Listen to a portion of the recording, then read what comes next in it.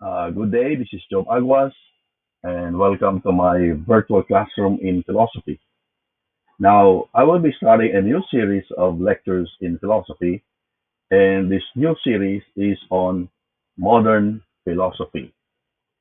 So, this first uh, lecture in this series is an introduction to modern philosophy. Okay? So, let's start. Um, Western philosophy is generally subdivided into the four major periods of the development of Western philosophy. So, of course, we start with the ancient Greek period, where we discuss the pre-Socratic uh, and the three major philosophers during that era, uh, namely Socrates, Plato, and Aristotle, and the post-Socratic philosophers like Epicurus, uh, uh, the Stoics, uh, and the other uh, philosophers who follow the tradition of Plato, the Neoplatonists. And then after the ancient Greek philosophy, we have medieval philosophy. Uh, in between the Greek ancient philosophy and the uh, the, mod, the the medieval period, there is a, uh, very important uh, period between these two, and that's the patristic era or patristic period, the period of the early fathers of the church. And then you have medieval philosophy, okay, dominated by scholasticism. So the main uh, philosophy during the medieval is scholasticism. Of course, before that, you have the patristic philosophy. Uh, the main representative of this patristic philosophy is Saint Augustine. And then in medieval philosophy, we have Saint Thomas Aquinas, Saint Albert the Great, Saint Bonaventure, and the many other clerics during the era. And then after that, we have modern philosophy. In modern philosophy, uh, the first uh, historical period of modern philosophy would be the Renaissance, and then it will develop towards the uh, period of enlightenment. And then after the modern philosophy, we have contemporary philosophy. Okay, contemporary philosophy, there are many now philosophical systems that is sprout that emerge. Uh, we have, uh, of course, existentialism, phenomenology, uh, uh, Marxism or historical dialectical uh, dialectical materialism, positivism, and so on and so forth. And then, of course, we are now what many uh, philosophers or thinkers would call the postmodern era. In fact, there is now a uh, well discussions that this is no longer the postmodern; it is already a post postmodern era. All right, but that will not be our topic. So we go back to the modern period. Okay, the modern period. So just an overview of this period.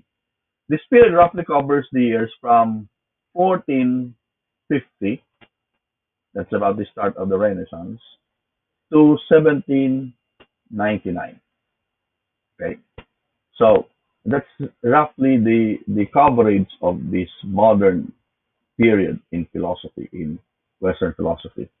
So the transition from the medieval to the modern world was long and complicated, and sometimes violent. Okay. This transition came in several fronts. First, in the area of science, uh, scientific discoveries pushed man to, or man's understanding of the universe to unprecedented limits. Scientific laws were able to explain how the physical reality operates without reference to the divine laws, which was, of course, the reference of the prior era of medieval, scholastic medieval era. In politics and society, we saw the decline of the influence of the authority of the church. And in the, course, in the political sphere, and political states were formed and declared their independence. So during the medieval era, the church was so influential that the Pope even settled disputes. Okay, uh, kings and emperors they seek the approval or the blessing of the of the Pope. Okay, so that's how dominant the church was during the medieval era. But in the modern era, uh, states were established and they no longer have to seek the approval of the church. Okay? And in economics, there is growth of capitalism out of the economic structure of feudal society during the medieval period. So there came the rise of great commercial city-states in northern Italy during the 14th and 15th centuries, and the rise of a rich commercial class who were educated, political, secular, that set this economic transition process. Okay, we know that during the medieval, only the aristocrat, uh, the noble, have access to the manuscripts.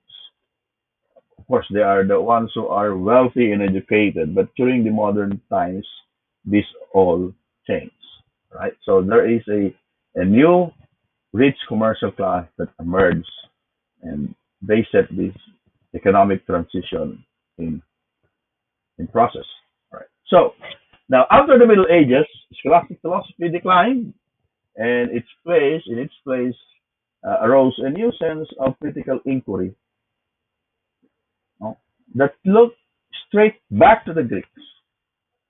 Okay, so they dismissed scholastic philosophy. Of course, they were still under the influence of this uh, philosophy, but they wanted to go back to the Greeks, which they called the classics.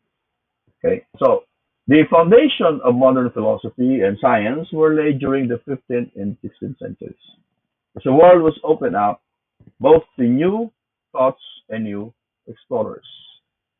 Uh, that's the time when you know uh, explorations of the world, uh, the Reformation with its emphasis on individual faith, the rise of commercial urban society, and the dramatic appearance of new ideas in all areas of culture.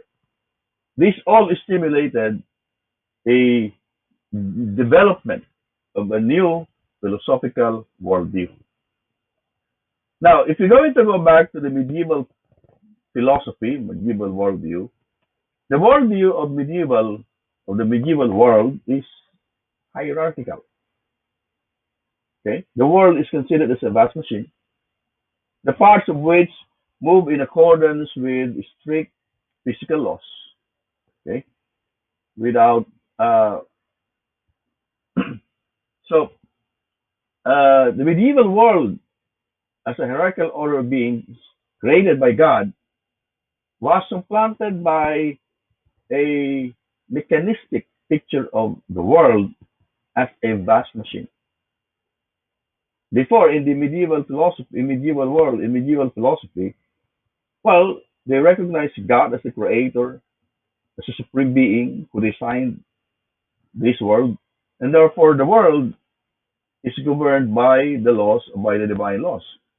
But in modern philosophy, this world, this picture of the world as governed by a divine being, was uh, set aside and it was replaced by a mechanistic picture of the world, like a vast machine, the parts of which move in accordance with strict physical laws, independent of the divine purpose or the divine design or the divine will. So the work of the Italian physicist and astronomer Galileo was of even greater importance in the development of the New World. Galileo brought attention to the importance of applying mathematics to the formulation of scientific laws. Um, this he accomplished by creating the science of mechanics, which apply the principles of geometry to the motions of bodies. So you see, if before how bodies move in the universe were explained through the will of God or divine providence, Galileo's mechanics able to apply the principles of geometry and of course apply the principles of mathematics in order to explain how bodies move in the universe. And the success of mechanics in discovering reliable and useful laws of nature suggested to Galileo and to the other thinkers and scientists that all nature is designed in accordance with mechanical laws. Now the world can be determined, now the world can be studied, can be analyzed if we understand these laws. Now, as to the human life, the aim of human life was no longer conceived as preparation for salvation in the next world, like in the medieval, in the scholastic period. The aim of life is rather the satisfaction of people's natural desires. So political institutions and ethical principles is to be regarded as reflections of the divine command or the divine will and came to be seen as practical devices created by man. In this new philosophical view, experience and reason became the sole standards of truth. So if before faith and revelation were an authority, of course, were were the uh, sort of standards of truth. Now, what dominates, what dominated this philosophical worldview are experience, sense experience, and reason. So, the first great spokesman of the new philosophy was the English philosopher and statesman Francis Bacon.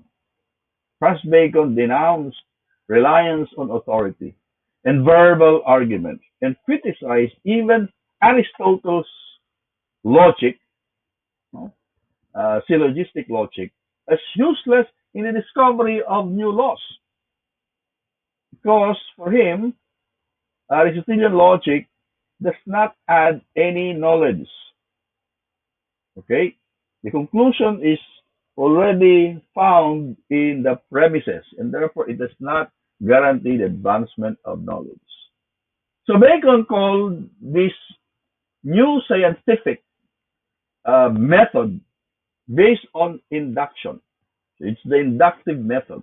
It is based on inductive generalization from careful observation and experiment. And he was the first to formulate rules of inductive inference.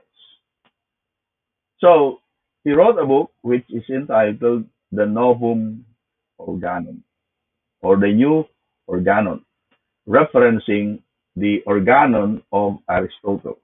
The Organon of Aristotle is a collection of six books on logical treatises. There are six. They are called collectively Organon, which means tool or instruments for thinking. And Francis Bacon named titled his book as the new organon, okay, the new tool or the new instrument. Now, in the 15th and 16th century also, a revival of, so in, given this scenario, there was a revival of scientific interest in nature. which was accompanied by a tendency toward pantheistic mysticism. The Catholic prelate Nicholas of Cusa anticipated the work of the Polish astronomer Nicolaus Copernicus in his suggestion that the Earth move around the Sun and therefore uh, displacing humanity from the center of the universe. And he also conceived of the universe as infinite and identical with God. You see, from the time of Ptolemy, we we believe or people believe in the uh, the geocentric theory, where the world or Earth is the center of the universe, because man finds himself in on Earth in this world, and God or God created man to be the king of his creation, and therefore the king must be at the center of that creation. And because we find man here on earth, then the earth must be the center of the universe. But Nicolaus of Cusa suggests, and of course later on Copernicus, that the earth is not the center of the universe. They would, of course, uh, they, they were they would replace this geocentric with a with a heliocentric theory about the world. Okay? The Italian philosopher Giordano, Giordano Bruno, who similarly identified the universe with God, developed the philosophical implication of this of the Copernican revolution, of the Copernican theory, uh, and Bruno's philosophy influenced uh, subsequent intellectual forces or thinkers, and this led to the rise of modern science and to the Reformation. Okay? So, of course, uh, all these uh, new developments at the time were, of course, very critical of the position of the church, and many of these thinkers were actually sanctioned or censored by the church. We know what happened to Galileo. Okay, he was excommunicated, and more violent, more brutal was what happened to Giordano Bruno because he was burned at stake uh, for following this Copernican revolution. Okay, because Copernicus was never censored. Uh, he was a uh, a Polish uh, a Polish prelate priest. So in philosophy, the search for truth is centered on man and human reason. Human reason was the was liberated from nature and faith. It is not an understatement to say that modern philosophy was characterized by the dominance of reason over faith, uh, of the state over the church, of science and philosophy over theology. And considering all this, it could be said that the modern period is generally characterized as empirical, anthropocentric, and rationalistic. Now, we mentioned that it roughly covers modern philosophy, roughly covers the years from 1450 up to the end of the 700s, 1799. So, how do we categorize now uh, modern philosophy? Well, there are many categorizations. Okay, but what we can say is that it may be categorized into two historical periods, namely the Renaissance and the Enlightenment. So at the beginning, it's the Renaissance, and then towards the end, we have the Enlightenment. Okay. In our succeeding lectures, we're going to discuss these two. Okay. So the, we're going to discuss Renaissance and then later on the Enlightenment. And philosophers also are usually grouped into several, you know, several systems, as if, if we can say that. Namely, the rationalist or rationalism and empiricism or the empiricist. And then towards the end of that modern period, the, these two were integrated into the philosophy of Immanuel Kant. Okay? And then of course, after Immanuel Kant, we can identify the period of Fichte, Schelling, and Hegel as a kind of absolute idealism. Okay? So these are possible categorizations of philosophy from a historical perspective and from the systems that emerge out of that out of that period. Okay, so uh, this Renaissance is a period represented by different philosophers, different kinds of thinkers. Okay, so first you have the uh, the the the scientists like Copernicus and Galileo Galilei, and then you have the political thinkers like Diogo Grotius, uh, Niccolo Machiavelli. Okay, well you can still also add John Kepler into the scientific, to the science group. Okay, so basically these are scientists and political thinkers. Rationalism is represented, of course, by the father of modern philosophy, Rene Descartes. And of course, together with Descartes, you have Benedict Spinoza, um, Gottfried Leibniz, and then, of course, Nicholas Malebranche. And then empiricism is represented by, of course, I already mentioned Francis Bacon, uh, Thomas Hobbes, John Locke, George Berkeley, was David Hume. know. And enlightenment can be represented by the French philosophers like Francis Voltaire, uh, Jean-Jacques Rousseau, and then uh, some other philosophers like Samuel Clarke, John Adam, Christian Wolff, and German idealism can be represented by, as I already mentioned, Fichte, Schelling, and, and Hegel.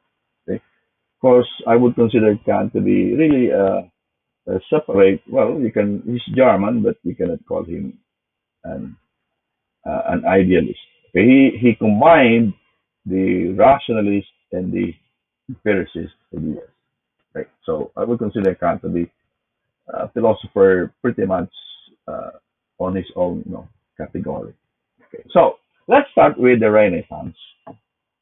Uh, and Renaissance can be characterized by this, by materialism and mechanism. Okay.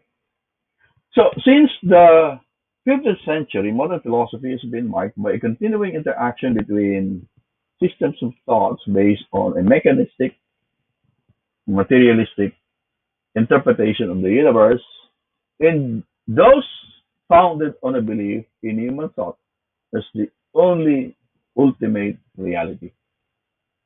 This interaction has reflected the increasing effect of scientific discovery and political change on philosophical speculation.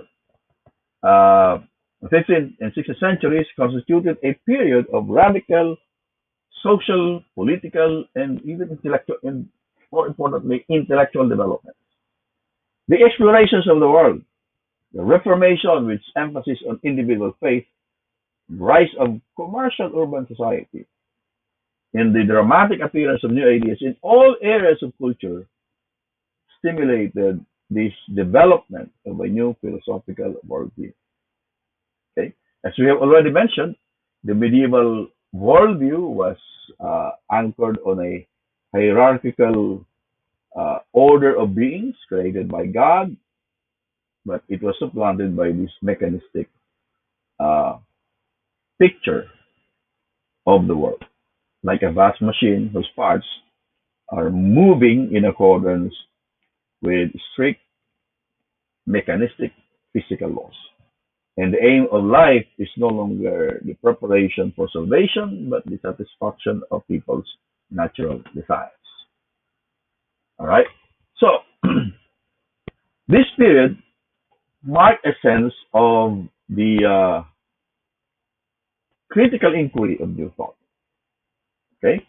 So there developed a new kind of humanism and a different political theory. So during the Renaissance, a new culture emerged. The world opened to new thoughts and new ideas and new explorers and discoveries. So uh, now let's go to the empiricists and the empiricism and skepticism. Empiricism believe that all knowledge comes from sense experience. There are no innate ideas. This is reference, of course, from Descartes' position that there are innate ideas. To which John Locke answered, there are no innate ideas. The mind at birth is a tabula rasa. Only those that can be perceived have real value. Okay? If you cannot trace and I trace back to an experience. And an idea cannot be traced back to an original experience, then that idea does not have any real value. So empiricism is represented, as already mentioned, by Bacon, Hobbes, Locke, Berkeley, and David Hume. Thomas Hobbes set his philosophical or political philosophy in the book Leviathan. Okay, he said that in the state of nature, man relentlessly pursues survival at the expense of others. Okay? So we are like wolves against fellow wolves. So it's a war of all, no? of all against all. Okay? So man, it's like a wolf. But of course, man realized that they cannot fight endlessly. So they have decided to bond together and form a social contract. John Locke is known for his social contract theory also, but he is more interested in individual liberty. Unlike Hobbes, he theorized that man in the state of nature was good They were not quarreling, they were not fighting, but conflicts of interest cannot be avoided because, of course, they have to work for their individual rights, and so they also decided to form a social social contract and thus establish a civil society. So, in his two two three uh, work two treatises on government, he argued first that there was no divine right for the monarch to rule, and secondly that man is free, and in this condition all men are equal. Okay, so man by their free act decided to form a society to protect their individual rights. Now, of course, I already mentioned that the first uh, spokesman of this this new philosophy, new science actually, is Francis Bacon. So Bacon denounced reliance on authority, criticized Aristotle's philosophy, or logic rather, and established a new scientific method based on inductive generalization. So he was the first to formulate these inductive rules. Uh, well, Thomas Hobbes also constructed a comprehensive system of materialistic metaphysics that provided a solution to the mind-body problem. Because, again, referencing Descartes, Descartes theorized that man is composed of two principles, separate principles, mind and body. The res cogitans and the res extensa. And Thomas Hobbes presented a uh, mechanistic solution to this mind-body problem, reducing the mind to the internal motions of the body. So for him, the mind is part of the body. So that's a kind of materialistic, materialistic metaphysics. So applying the principles of mechanics to all areas of knowledge, he defined the concepts based on each area, such like for example, life, uh, sensation, reason, value, justice, in terms of matter and motion. And therefore, he reduced all phenomena to physical relations in all sciences to mechanics. In his ethical theory, Hobbes also derived the rules of human behavior from the laws of self-preservation and justified egoistic action as the natural human tendency. In his political theory, he maintained that government and social justice are artificial creations based on social contract and maintained by force by the sovereign authority, the Leviathan. Okay? And of course, he supported the absolute monarchy as the most effective means of preserving peace. But this idea about the absolute monarchy is actually a kind of apology or a kind of, you know, uh, a justification for the monarchy at the time, which was the sponsor of Hobbes. Now, John Locke is one of the most influential figures in English thought. He continued uh, the empiricist tradition started by Bacon, and he gave empiricism a systematic framework with the publication of his uh, book Essay Concerning Human Understanding. Okay. Locke attacked the prevalent rationalistic uh, beliefs in knowledge independent of experience. Okay, because for him, knowledge is based on experience. We cannot separate knowledge from experience. Although he accepted the Cartesian uh, uh, uh, division between mind and body, because that's uh, that's a conception of Descartes. Okay, the the res cogitans and the res extensa. Okay, so while he accepts that, and the mechanistic description of nature, he redirected philosophy from the study of the physical world to the study of the mind, to the study of human understanding. Okay, that's the so that's the main area of of John Locke. So in so doing, he made epistemology, that is the study of the nature of knowledge, the principal concern of modern philosophy. And Locke attempted to reduce all ideas to simple elements of experience. But he also distinguished sensation and reflection as sources of experience. Sensation provides the material for knowledge, meaning knowledge of the external world, and reflection provides the material for the knowledge of the mind, for the internal world, meaning our knowledge of ourselves. Well, Locke is not really a skeptic if you're going to compare him to David Hume, but he greatly influenced skepticism of later British thought by recognizing the vagueness of the concepts of metaphysics and by pointing out that influences about the modern world or the, the, about the world outside the mind cannot be proven with certainty. So, the founders of modern school of utilitarianism, which makes happiness for the largest possible number, no, no becoming the standard right and wrong, drew heavy influence from the writings of John Locke. So, uh, philosophers like Jeremy Bentham and John Stuart Mill, who were the uh, who were the proponents of utilitarianism, were heavily influenced by the thinking of Locke. Okay, and then of course Locke's defense of constitutional government, religious tolerance, and natural human rights influenced the development of liberal thought in many parts of the world, in France, in the U.S., and of course in uh, in Great Britain, okay? in England. Now, next is the Scottish philosopher and historian David Hume. Uh, David Hume Uh, turned Berkeley's criticism of material substance against Berkeley's own belief in spiritual substance, arguing that no observable evidence is available for the existence of a mind, a divine substance, or spirit or God.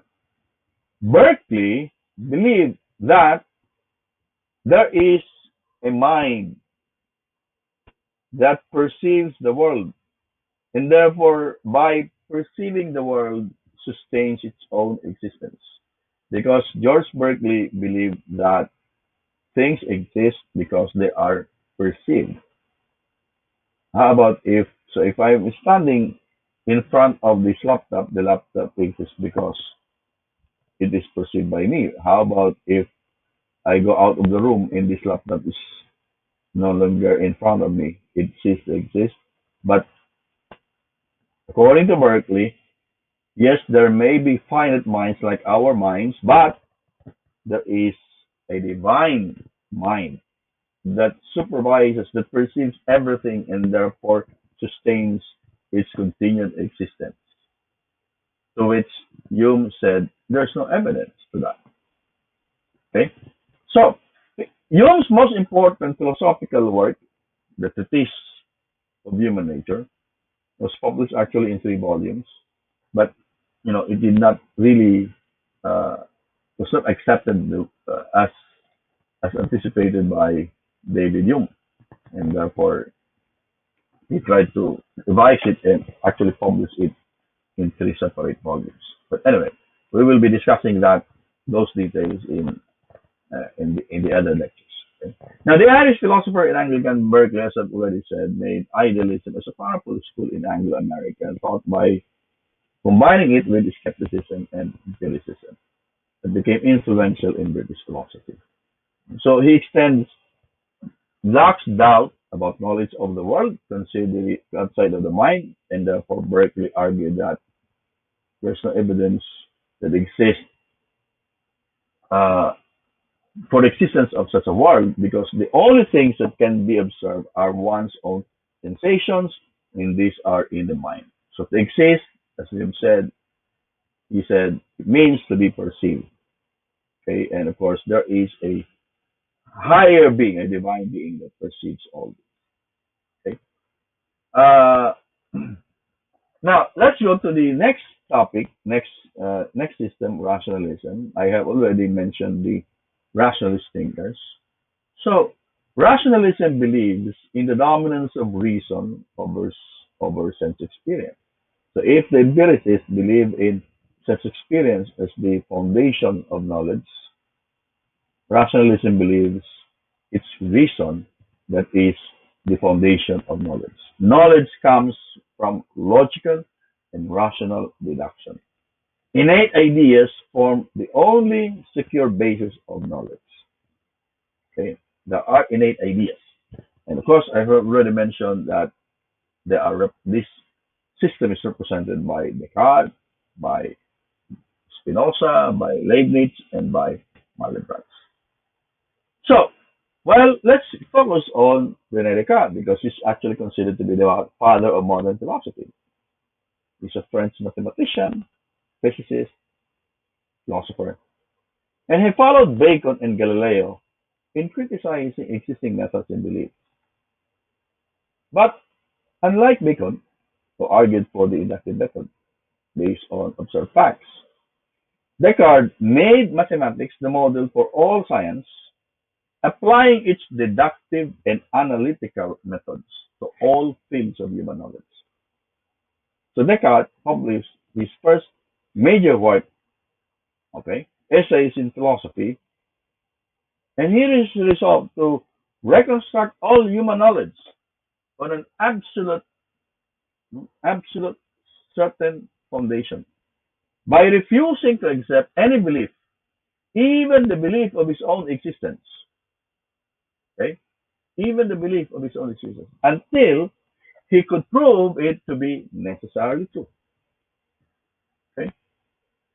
So he doubted everything, including his existence, and tried to question all this, remove all these doubts until put this all these beliefs into doubt until he reached one particular belief that he cannot doubt anymore. And that's where the famous statement came, cogito ergo sum. I think, therefore I am. Okay? Because if I doubt, that means I am thinking. And I cannot think if I don't exist. Okay? Now, incidentally, that's not an original idea of Descartes. Because many centuries before, St. Augustine already said that. I doubt, therefore I exist. Because I how how can I how can I exist if I doubt? Okay, I, I have to. Okay, something similar to that, but the the main idea, this idea of cogito, is not original to Descartes because it was first mentioned by Saint Augustine. Okay, during the patristic era that we have mentioned before. Right. So from this cogito, Descartes proceeded to uh, prove God's existence, okay, and his own existence, and the existence of the world. Okay, so of course we have already mentioned that he originated this idea of the uh, distinction between two substances: the res cogitans, the substance that exists in the, uh, the the mental uh, the mental substance, and then the res extensa, uh, the physical substance. And man is composed of these two substances. He has mind and he has body. But it became problematic because how do we mix, you know, how do we relate these two? It created a problem. This is the mind-body problem, no? which he was not able to resolve and have been the concern of philosophy, especially those immediately succeeded Descartes. Okay? So, well, of course, Descartes was credited for his methodic doubt, starting the starting point of his philosophic investigation. And through this methodic doubt, he arrived at certain knowledge. Okay. Uh, now, let's focus on the next philosopher, Benedict Spinoza. He's a Dutch philosopher. Well, uh, actually a Jew who migrated to to Netherlands. He constructed a remarkably precise and rigorous system of philosophy that offered new solution to the mind-body problem started by Descartes. Okay, and he also uh, offered solution to the conflict between religion and science, and the mechanistic elimination of ethical values from the natural world. Like Descartes, he maintained that the entire structure of nature can be deduced from a from few basic you know, definitions and axioms, like the model of the geometry of Euclid. Okay, so Spinoza saw that uh, Spinoza saw that uh, Descartes' theory of two substances created uh, created uh, some kind of an insoluble problem, you know, of the way in which the mind and body interact. So he concluded that the only ultimate subject of knowledge must be substance itself. Okay? Substance. There's only one substance. You cannot separate substance into two. There's only one substance. So, in attempting to demonstrate that, he said that this substance is God. God, substance, nature are identical. There's only one substance, identical with God and nature. And therefore, he arrived at a kind of a pantheistic monism? Uh, that all things are, all aspects or modes of God. Okay, so that's Spinoza. Of course, uh, we're going to discuss Spinoza's solution to this problem. No, uh, well, by the way, just to mention, uh, this problem is the solution to the problem is called the psychophysical parallelism, which explains that the apparent interaction between the mind and body that we can observe uh, based on our experience uh, as two forms of the same substance that just run exactly parallel to each other. Okay, so uh, it's like uh, it's it's it's like a, a, a two clocks that are synchronous, no, that run uh, synchronously. No? Now, of course, you have the German philosopher Gottfried Wilhelm Leibniz, and he developed a, a subtle and original system of philosophy. He combined the mathematical and physical discoveries of his time with the organic and religious conceptions of nature. Right? And he found he found this in the ancient and medieval thought. Okay. So he subscribed to the idea of the medieval and ancient about the substantial forms. Substantial forms are like uh, they are the vital principles. They are like energies. Okay, but uh, Leibniz interpreted this as kind of uh, small units of forces. They are indivisible. They are infinite in numbers, and call this the monads.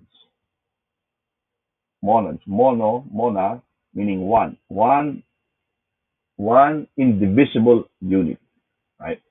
So it's it's like it's like the atom, okay? It's like the atom.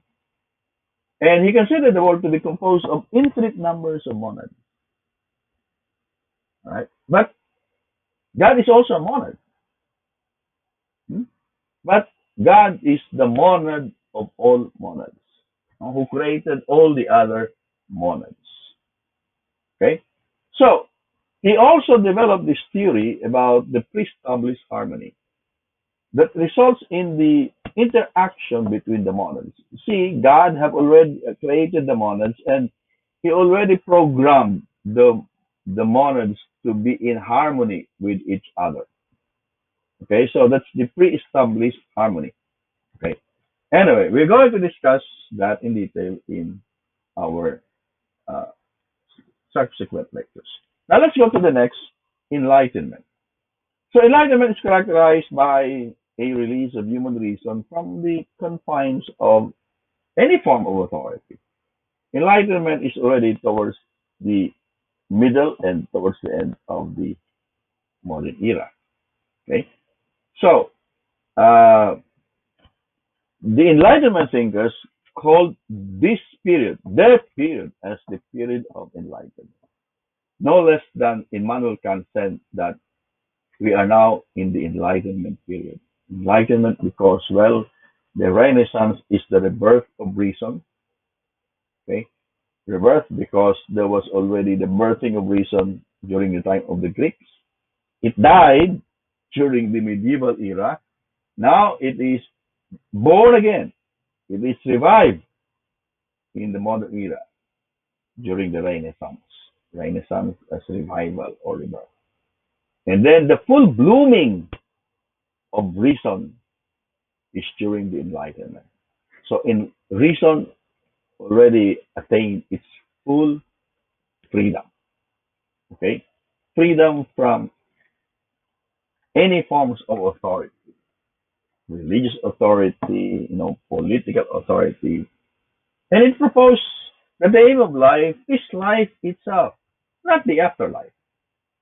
Okay? Believes that the essential conditions for a good life on earth is freeing man's mind from ignorance and superstition.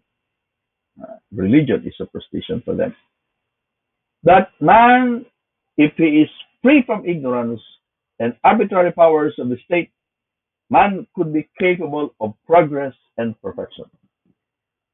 So everything according to this view is interconnected and forms part of a grand scheme of a benevolent providence. So the Enlightenment philosophers, as we have, we have already mentioned, well, we have Voltaire, Rousseau, Clarke, Wolff, okay, and we can also, of course, Immanuel Kant add to the mix. So the Enlightenment century writers claim that during the Age of Enlightenment, reason made its good, made good its promise. Okay, it showed the way to progress in science, philosophy, and religion, politics, and even in the arts. So the pure and brilliant light of reason was able to overcome the darkness caused by prejudice, caused by superstition, and by dogma, under which, according to them, humanity had previously labored and lived. Of course, they are pertaining to the medieval era. Okay? So this new culture with its new brand of philosophy introduced an age of enlightenment through the light of reason to dispel the darkness of the past. Okay?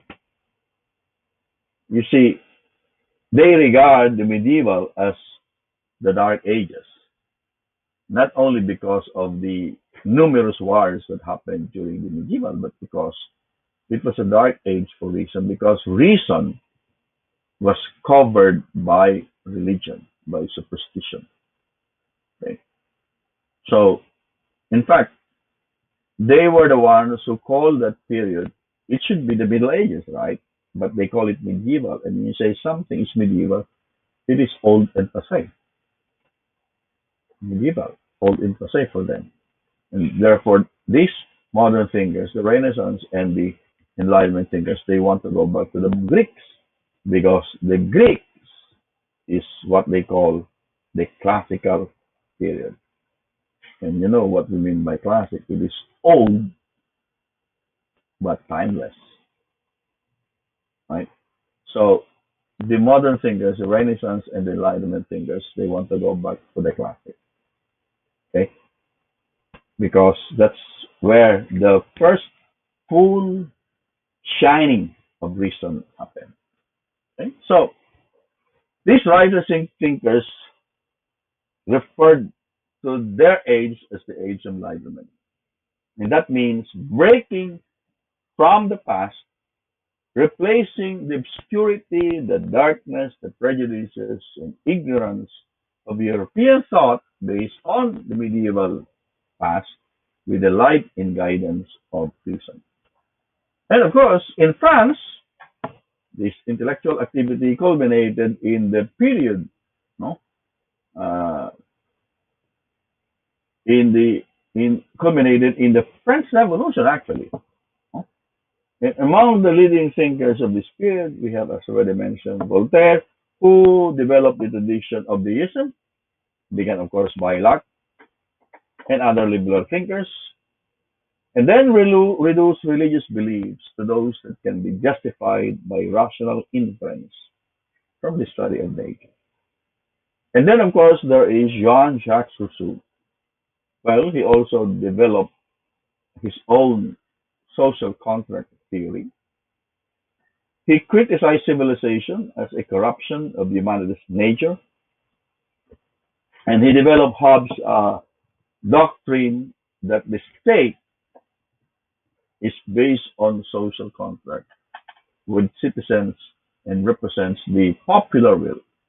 Then, of course, you have, uh, just to mention, Denis Diderot, who founded the famous Encyclopedia, to which many scientists and philosophers of the time contributed. Now, then, of course, we have to mention the, one of the most important philosophers in modern era, modern philosophy, Immanuel Kant. Philosophy of Immanuel Kant, and of course, George Hegel, uh, were the culminating point of modern philosophy. Uh, of course, through the influence of Kant, idealism and voluntarism uh, became the dominant tendencies in in Germany. You have Fichte, who transformed uh, Kant's uh, critical idealism into an absolute idealism by eliminating Kant's uh, idea of the things in themselves. Okay, again, I'm just mentioning this um, this is uh, this is part of the introduction, but we're going to discuss this in details in the succeeding lectures.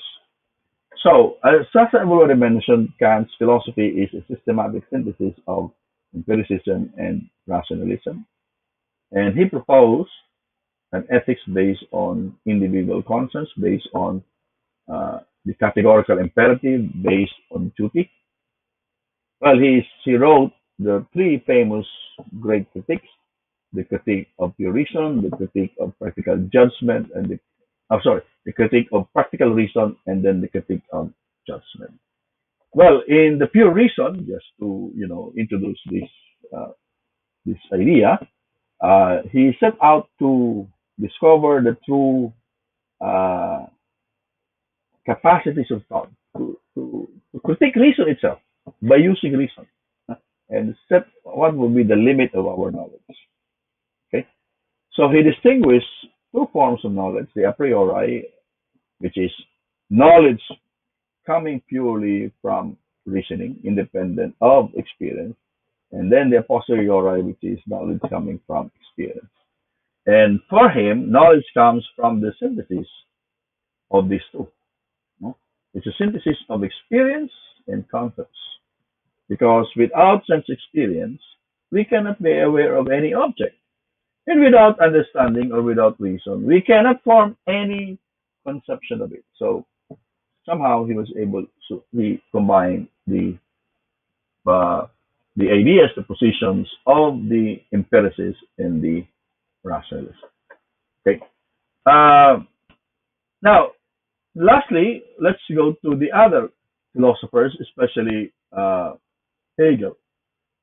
So another influential philosophical mind of the of this philosophy of this period is the German philosopher Hegel, Wilhelm Friedrich Hegel.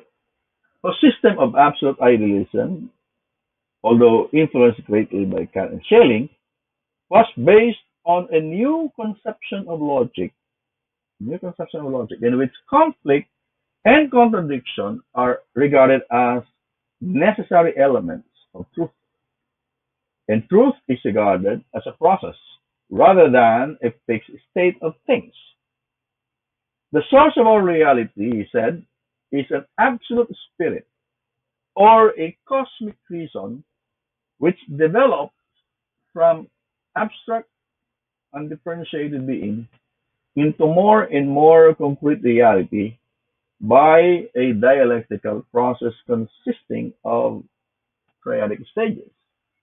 And each triad involves an initial state, which he calls the thesis, and then its opposite state, which he calls the antithesis, and then the higher state, the combination of the two, which he calls the synthesis.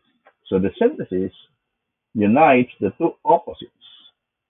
And according to this view, history is governed by logical laws, so that all that is real is rational, and all that is rational is real.